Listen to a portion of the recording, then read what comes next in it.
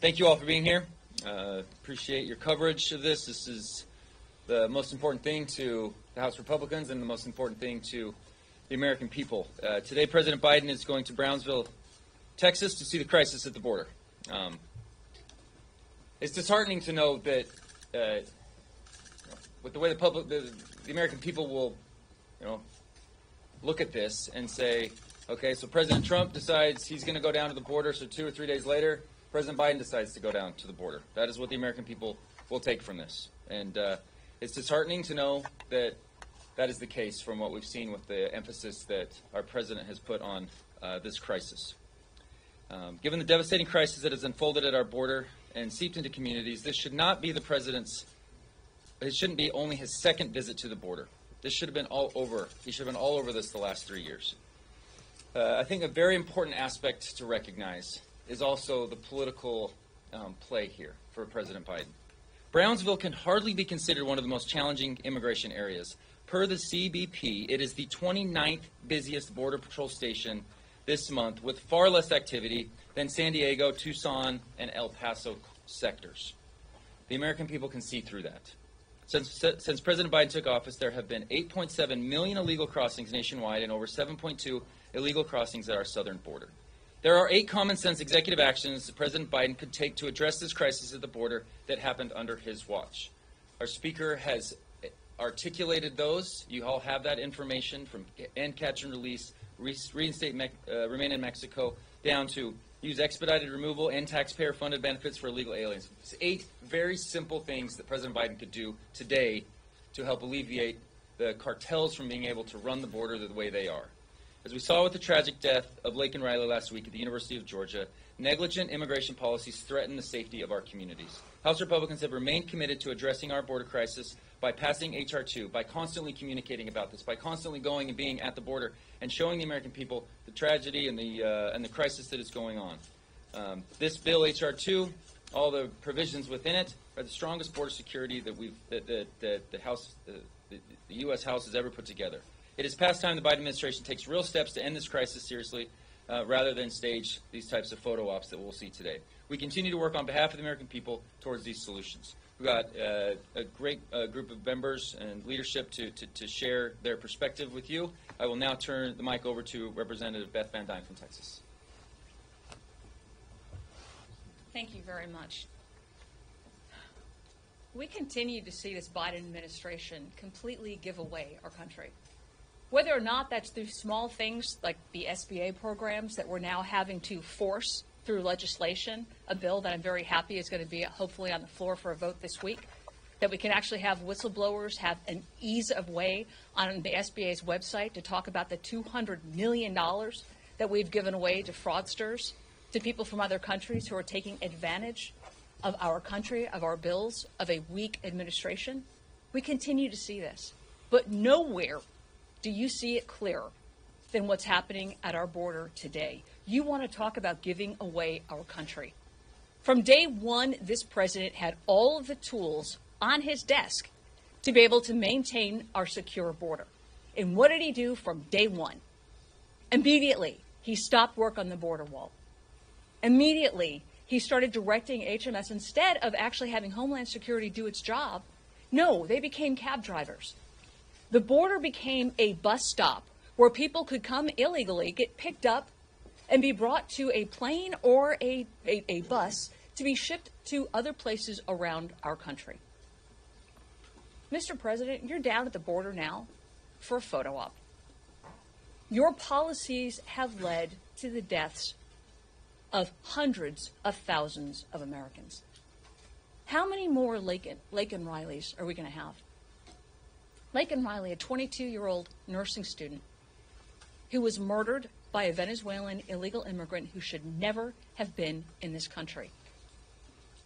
Laken Riley's middle name, by the way, was Hope. You've taken away her hope, you've taken away her family's hope, and you're down there right now for a photo op. Your policies that you took off the table, such as the Remain in Mexico, where, those, that, Venezuelan would never have been allowed in the country because he would have been stopped at the border and sent back to the first safe country or remained in Mexico until his asylum claim was filed. You took away the rights of Immigrations and Customs Enforcement to be able to get rid of criminal illegal aliens that were committing crimes within our country. What did you put in its place? Catch and release. Catch and release was great because what that did was it allowed everybody in. Over 10 million illegal immigrants have come into our country since you've been in office. Thousands of pounds of fentanyl have been allowed to enter into our country, killing over 110,000 Americans, five Texans each day. You have the power to be able to stop it now. You have the ability, the policies that were there when you got into office to be able to stop this problem, and you haven't done it. Instead, you are down on our border for a photo op. Mr. President, how many more daughters, how many more sons, how many more children, how many more of us will you have to kill before you will take this seriously? Unless you are willing to get down on the border and tell Laken Riley's family, I am sorry. This is my responsibility, and I'm going to fix it now. You have no business being president. Our country deserves better. And hopefully in November, we will get it. Thank you. Thank you, Beth.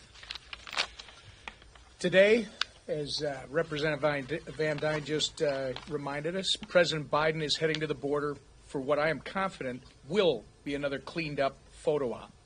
While Joe Biden is busy making empty promises at our border, the rest of the country is being forced to deal with the consequences of his neglect. At this point, we all know the numbers. There have been 8.7 million illegally, illegal crossings nationwide. That doesn't even include the known gotaways since Joe Biden took office. Uh, this is what we know of. The president also knows the numbers and still does nothing to protect innocent Americans from this invasion. So now we need to talk about the people. We need to talk about the real life victims of Biden's border failures. We need to talk about the two year old who was fatally shot earlier this month. We need to talk about the 14 year old girl in Louisiana who was raped. And we need to talk about Laken Hope Riley, who went for a run on her college campus and never came home. The alleged perpetrators in each of these attacks, illegal immigrants. These are just a few of the innocent Americans who've been victimized because of Joe Biden's open border policies. I know I've said it before, but enough is enough. I've had enough. Our majority has had enough. The American people have had enough. The question remains how many innocent people have to suffer for it to be enough for Joe Biden to say it's enough and take action? The time for photo ops is over. The time for action is now. And with that, I'm going to turn it over to our great majority leader, Steve Scalise. Well, thank you, Whip Emmer as President Biden goes down to the border today for a photo op, has been aptly pointed out, he has the authority today to fix this problem that he created. And let's go back to his first day in office. Joe Biden, with a pen, undid the policies that President Trump had in place that were working. Remain in Mexico was a negotiated agreement between our two countries. You know, when Joe Biden says, oh, it's hard because, boy, Mexico doesn't want to do it. Mexico didn't want to get into the agreement when President Trump was in office. But President Trump made it abundantly clear to the president of Mexico why it was important to happen. And ultimately, it did happen. And Remain in Mexico stopped a lot of that illegal flow. Ending catch and release was something else President Trump did that worked effectively Joe Biden reversed that policy on his own. There were no laws passed to do that. And it seemed like he, you know, maybe forgot that he had that legal authority for a while. Speaker Johnson actually pointed it out to the president on multiple occasions that he has the legal authority today to fix this problem. Now, we took our own action in the House. We came together as House Republicans to say we are going to fix this problem and show the country how you can secure the border when we passed H.R. 2 a critical piece of legislation that combined all the different elements that we gathered as we worked with Border Patrol agents and other experts that know what's at stake to say, let's fix this problem. It's a shame that not a single Democrat voted for that bill because they're not serious about the problem. They don't want to fix the problem. But then when you look at what happened just a few days ago with Laken Riley, that really woke the country up to just how bad this is. And sadly, in my backyard in Kenner, Louisiana, as the whip pointed out, a 14 year old girl was raped by someone here illegally just days ago. This is happening over and over again in communities all across America, and people are rightfully outraged. Not just because it's happening, but because it's preventable. Because it was created by Joe Biden, and Joe Biden doesn't want to fix the mess he created. So he'll go down to the border. I don't know what he'll say. He might talk about taking action. Well, Mr. President, we've shown you the steps you can take. I'll give you a question you can ask the White House today. If the president dares say that he really wants to secure the border, but won't take the steps that we've been talking about today, ask President Biden why today he's still got a lawsuit against the governor of Texas, who's trying to secure his own state's border because the president won't do his job. So Governor Abbott put up some razor wire to at least give some protection to the state of Texas to stop the flow of illegals coming in. And you would think Joe Biden would applaud him and say, hey, you know, I know the president's not doing his job, but thank you for at least doing something. No. President Biden is in court today trying to force Governor Abbott to take that barrier down so that more illegals can come in. So clearly, Joe Biden wants more illegals to come into this country. So whatever he says at the border today, he should be asked, Mr. President, are you going to drop your lawsuit against the state of Texas so that they can at least protect their border if you won't take the necessary actions to do it? We in the House have continued to stand for border security and pass legislation, even without a single Democrat vote, because we care about this problem. And we're going to continue to fight for those families who are sick and tired of an open southern border. And the man at the front of that fight has been our speaker every step of the way, uh, leading that charge, Mike Johnson. Thank you. Thanks, Steve, uh, Blake, and Beth, and Tom, and, and all of you for being here. Uh, it's another busy week on Capitol Hill. There's a lot going on. Let me give you a couple updates. On um, on Tuesday, I, I went to the White House, met with the president, the vice president, uh, leaders Schumer and McConnell, and uh, Hakeem Jeffries, my counterpart in the House. I told him the obvious truth. The obvious truth is very simple. You've heard it repeated here multiple times this morning. We hear it all over the country. I've been in multiple states over the last week uh, all over the country. The obvious truth is that we have to take care of America's needs first. We have to. The border is the issue to every American, no matter where they live, no matter where their state is, because every state's a border state. If we're going to take care of America's needs first, that means two things. It means securing the border. I would repeat it 10 times for emphasis, but you understand what we're saying here. We have to secure the border. We have to do it. And we got to fund our government. And so this week we're, we're working very hard to do both of those things. We're trying to urge the president to use his executive authority to do something meaningful to stop the hemorrhaging at the border, stop the flow, reduce the flow. At the White House, I talked to him about this specifically. I reiterated to him the specific provisions of the federal law that give him broad authority to do that, to unwind the extraordinary, unprecedented damage that he has done with his policies. This is a catastrophe of their design as was mentioned earlier, Vice Chairman uh, Blake Moore said at the Republican conference that we, we documented 64 specific actions beginning on the day he took the office of executive orders and agency orders and actions that opened that border wide and created this chaos. And everybody in America knows it. Everybody knows the president has authority to do something, and he won't. And I cannot understand why he won't. So I pleaded with him to do that. Meanwhile, we're getting the funding, uh, government funding piece done as well. Uh, I wish we could say um, the same about that border security. Uh, the president's going to the border. You've heard for his. This is only his second visit in three years. With everything going on, as bad as it is, as the statistics are as horrible, catastrophic as they are, the effects in every community, he's only seen fit to go twice. And he's going for a photo op, as you said, to Brownsville, which is the 29th ranked hotspot on the border. Why would he go to the 29th ranked hotspot? Because he doesn't really want to see the reality. We tried to explain it to him. The National Border Patrol Council themselves called President Biden's visit, quote, too little, too late. I think that's an understatement. Also today, former President Trump is visiting Eagle Pass. That's where I led a group of 64 House Republicans on January 3rd. It was the largest congressional trip ever. Many of us have been down to the border many times, but that was the largest group to go together. And, and the side by side image of these two presidents could not be a greater contrast. One president was building a wall, President Trump. He was cracking down on those trying to cross the border illegally. He was supporting our CBP agents. He used his executive authority to stop illegal immigration. And the current president, Biden, is doing exactly the opposite of all those things. He stopped construction on the wall. He halted deportations. He ceded operational control to the cartels and the traffickers. And he did everything he could to incentivize, incentivize illegal immigration. Long story short, one president showed strength and the other showed weakness. I mean, that's just what it is. One president stood for control, the other stood for chaos at the border. So House Republicans, meanwhile, are continuing to fight for strength and control. We want to keep criminals out and our families safe, and that's what the American people want. They demand that. They deserve it from the Congress. That's why we're pushing for enforcement of the laws.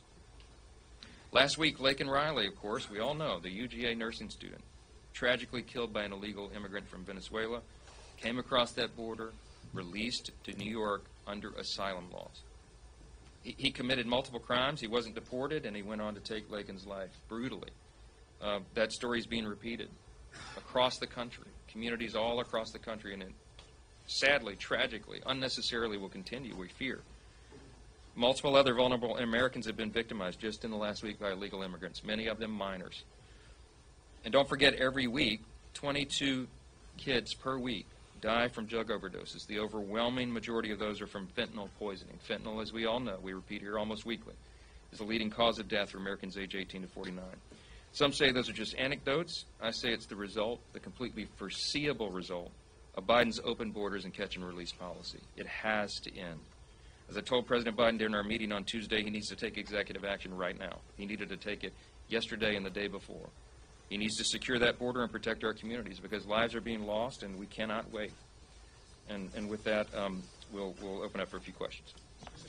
Chad. You've talked a lot about just how small your majority is, especially if you try to get an agreement on the spending bill here. If you have consistently stuck your guns on HR two, are you being too strident when it comes to HR two, when there are other border security measures which could be passed, such as this Patrick bill or something else, that might make a difference? Are you being too strident with sticking to HR two with this small majority? It's, it's, a, it's a really important question, and I'll, and I'll say this again. It, it doesn't matter to me what you call the legislation. The H.R. 2 was the measure that we passed, what, 11 months ago, right? It's the components of H.R. 2 that matter. If the president, for example, uh, announces today, which we don't expect, that he'll take some sort of executive action, and he says, hey, I'm going to do a little bit on the asylum reform, that is not going to solve the problem. The reason the components of HR two are so important is because you need they're like interlocking pieces. You need multiple pieces of this, or you will not stop the flow. I remind you again when we were down at Eagle Pass on January 3rd, 64 Republicans, House Republicans, we had leaders. I mean, 30 plus year veterans of, of Border Patrol of the agency, and they told us they're being asked to administer an open fire hydrant. They don't need more buckets. They need to reduce the flow. How do you reduce the flow? Chad, the, the, the answer is simple. You reinstate Remain in Mexico. That alone would reduce the flow by 70%. That's their estimate. I told the president that at the White House again.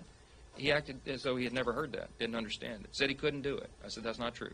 Well, I don't, uh, I don't, Mexico doesn't want that. Mr. President, we're the United States. Mexico will do what we say, okay? President Trump did it. Wh- why can't you do it? Remain in Mexico, then you end catch and release. The reason we have violent criminals, who we know are violent criminals, free ranging around the country and, and uh, uh, committing these atrocities is because they have been released. They have been turned loose into the country. This is happening every single day. So you end catch and release. You do need reforms to asylum and the parole process, and you need to build some wall, right? You can pick and choose among the menu, but if you don't have key components, you're not going to solve the problem. We don't need photo ops, and we don't need political talking points. We need to solve the problem. We need to stop the flow. And that's why we're so insistent and doggedly determined to get those provisions through. We're looking at all options, every option, and we're going to continue to press this and work on it every single day. Is not looking at all options. As I said, I'm not wed to HR two. It's the components that are going to fix it. That is the problem. Wait, wait, hang on. Let me. Uh, I need to go to the back. I never go to the back. Middle, back here. Yes, sir. Okay. How do you respond to criticism from some of your members saying that they've been left in the dark and haven't been seeing a transparent process when it comes to government funding? Yeah. So look, the appropriation appropriations process is, is ugly. Democracy is ugly. Um, this is the way it works every year, always has. Except that we've instituted some new innovations. We broke the omnibus fever. Right. That's how Washington has been run for years. We're we're, we're trying to turn the aircraft carrier back to real budgeting and spending reform. This was an important thing, to break it up into smaller pieces. We've been working on uh, separate individual appropriations bills, 12 appropriations bills. The, our, our appropriations committee and the, the Cardinals, who are, as you know, the, the chairs of the subcommittees of appropriations, have had hands on the wheel. All the uh, members and staff have been working around the clock. They have been for weeks to get this done. Uh, and we were able to uh, have that innovation to break it up. So what we're doing is, it, by having the laddered CR approach, and the laddered approach is that you have separate uh, tranches of bills instead of one big omnibus that nobody can read or understand or have a process in. This has been a long, deliberate process. The House, as you know, passed 80% of our bills through the House. 80% of federal funding came through the, the House. The Senate passed three bills, right? We did, the House did our work. Most of them made their way all the way through committee, the other, the other remaining four bills. Um, so members did have a say. They had a, a process in that. When it gets down to the final negotiation of the final provisions in each of them, that's a smaller subset of members because it's complicated and complex. But that bill text is going to be posted this weekend. All of our members will have 72 hours to review it. That's our commitment. That's our rule. We're respecting it. And that's the only reason we need the process CR to allow us time to do that. If I did it the way, I don't know, Speaker Pelosi did, we just drop that bill and vote on it within hours, right? We're not going to do that. We want members to be able to have their review and their say and to see all of that. Um, it's been a long road to get here. Uh, this is a bipartisan agreement in the end, but it sticks to the numbers, uh, the agreement on spending. It does not go above that. It will increase a bit defense spending, but there will be uh, real cuts to uh, non-defense uh, discretionary spending because that's what was agreed upon and that's what we're going to adhere to. The remaining six appropriations bills we finalized ahead of the March 22nd deadline. And then what I'm very excited about and anxious to do is turn the page on FY24 and get immediately into FY25 and that process to change the way that's done, to, to back it up on the calendar, to do everything we can to get that job done by end of summer so that we're not coming up at the end of September, the end of the fiscal year, and having to talk about, you know, CRs and omnibuses and everything. We're going to, we are going to do everything we can to turn that aircraft carrier around, and we're going to try to make it happen. Very bad. Yes, sir. Can you tell us the path forward for an aid to Ukraine right there on Taiwan? Is there any sense of urgency on your part? Because neither McConnell, Jeffries, or Schumer say this is something that the task has to Yeah, well, course they did, but they, the, remember, the Senate took four months to put, try to put a bill together to do that, okay? We've had their bill for a week and a half. Um, The, the House is actively considering options on a path forward, but our first responsibility is to fund the government. And, and our, and our primary overriding responsibility has been for the last three years is to secure the border. And so we're, we're getting the government funding done, and then we're going to turn to these other priorities. We can walk and chew gum at the same time, but we've made very clear, when the president first came out with his national security supplemental bill, he had four components in it, right? He had border, Ukraine, Israel, and Indo-Pacific. And the reason there were four components is because even the White House deemed that to be important. We said, you're right. But among those things, if we're going to fix everything around the world, we got to fix America first. We got to focus on America's security. And I don't think there's an American out there who disagrees with that. There, it is inexcusable. The president has not taken action on the border, and we're going to continue to insist on that uh, every single day. Last, last question, front row. Yeah. Red coat. How about that? All right. Um, happy Thursday slash Friday. Uh, there are obviously many critical issues in American life that you all are today discussing. On IVF, do you favor a bill to protect IVF, and do you believe discarding embryos is murder? Um, look, I believe in the sanctity of, of every human life, always have. And because of that, I support IVF and its availability. If you look at the, the statistics, it's really an amazing thing. Since the technology became available in, I think, the 70s, maybe the mid 70s, an estimated 8 million births uh, in the U.S. Uh, have been brought about because of that technology. I have, Kelly and I have uh, many close friends who have had trouble with fertility issues, and they, they've, they've had beautiful families as a result of IVF. And so it needs to be readily available. It needs to be something that every American supports, and uh, it needs to be uh, handled in an ethical manner. Um, so we'll continue to support that. I, I don't think there's a single person uh, in the Republican conference who disagrees with that statement, and there's a lot of uh, misunderstanding about it, but it's something I think we ought to support. Thank, thank you so much. Thank you so much.